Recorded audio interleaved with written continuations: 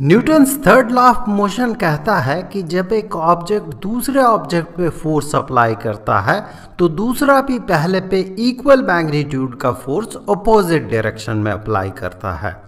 पहले फोर्स को एक्शन और दूसरे फोर्स को रिएक्शन कहा जाता है।